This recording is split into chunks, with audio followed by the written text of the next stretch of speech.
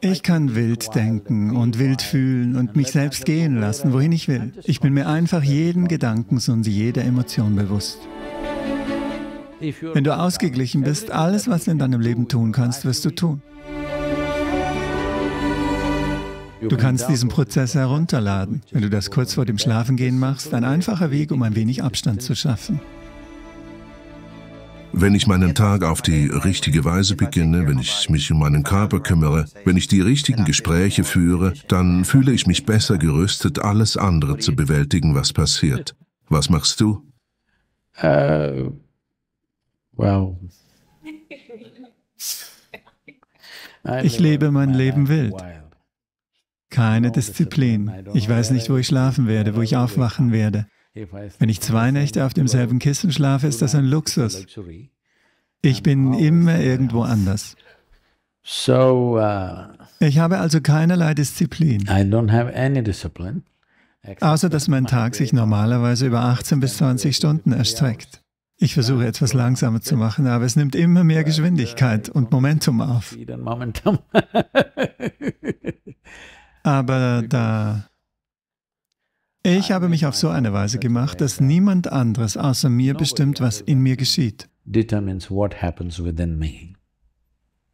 Daher kann mich niemand frustrieren, niemand kann mich unglücklich oder wütend machen. Ich habe also kein Problem damit, wenn Sie mich um zwei Uhr morgens wecken und mich etwas fragen. Ich habe kein Problem. Das Allerwichtigste ist, als erstes habe ich mich sehr früh entschieden.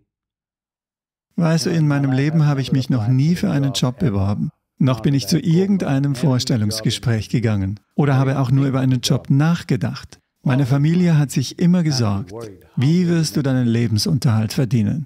Ich sagte, ich weiß es nicht. Alles, was ich weiß, ist, wenn nichts funktioniert, werde ich gehen. Weißt du, ich habe Wochen in den Dschungeln von Südindien verbracht, ganz allein. Ich habe gelernt, dort zu überleben. Ich sagte, wenn nichts funktioniert, werde ich in den Dschungel gehen. Ihr werdet mich nicht sehen, aber ich werde leben. Denkt nicht, dass ich sterben werde. Ich weiß, wie man lebt. Ich sehe also Aktivitäten und Menschen und Herausforderungen und Hindernisse nicht als etwas, das mich grundlegend in irgendeiner Weise stört. Es ist nur so, dass einige Dinge deine Arbeit besser machen werden, einige Dinge werden Dinge behindern. Also in diesem Zusammenhang betrachte ich es, das ist alles. Ich betrachte nie irgendeine Tätigkeit oder irgendeine Person als jemanden, der mein Leben bestimmen oder mein Leben zerstören kann, weil ich das genommen und es in meinen Händen behalten habe, absolut. Oder mit anderen Worten, ich bin mir einfach jedes Gedankens und jeder Emotion bewusst, die in mir vorgeht. So kann ich wild denken und wild fühlen und mich selbst gehen lassen, wohin ich will, weil es nur entsprechend der Art und Weise geschieht, wie ich es will. Ich denke, das ist etwas, das du tun musst. Wie ich vorhin sagte, wenn du ein wenig Abstand schaffst, wirst du sehen, du wirst den ganzen Mechanismus davon verstehen, wie dies funktioniert.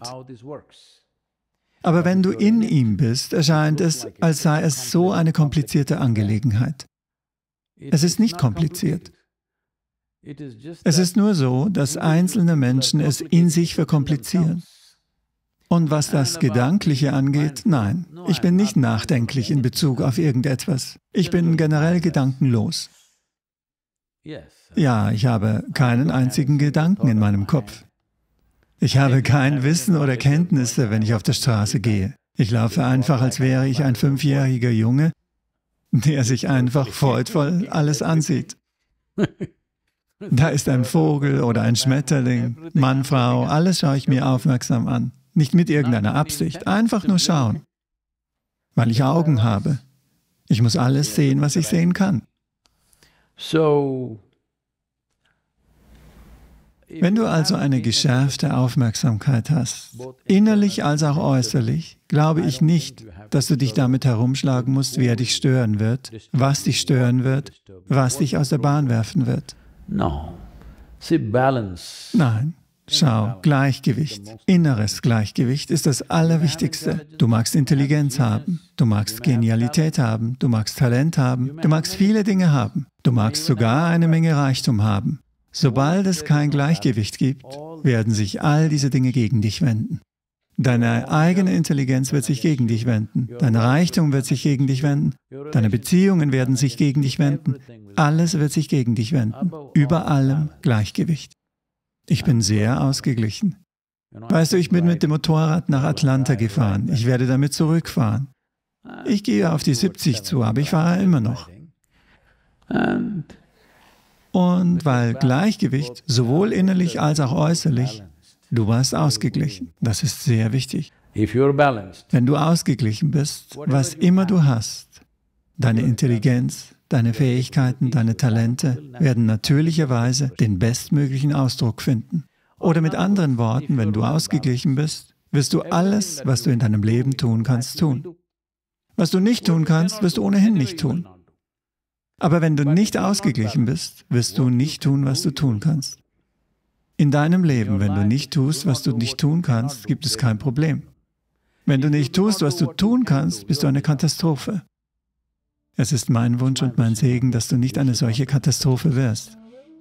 Es gibt also einen einfachen Prozess, den du, du weißt schon, du kannst diesen Prozess herunterladen. 12, 15 Minuten am Tag kannst du es tun. Es nennt sich Isha Kriya. Am Anfang hörst du es dir an und machst es. Es ist geführt, für einige Zeit. Wenn du es für, sagen wir, vielleicht 15 Tage oder einen Monat machst, danach kannst du es auch ohne jede Anleitung tun. Du kannst es alleine machen. Jeden Tag dich einfach daran zu erinnern und deinen Atem damit zu verbinden, vor allem wenn du es kurz vor dem Schlafengehen machst. Es ist ein einfacher Weg, um ein wenig Abstand zwischen dir und deinem Körper zwischen dir und dem psychologischen Prozess zu schaffen.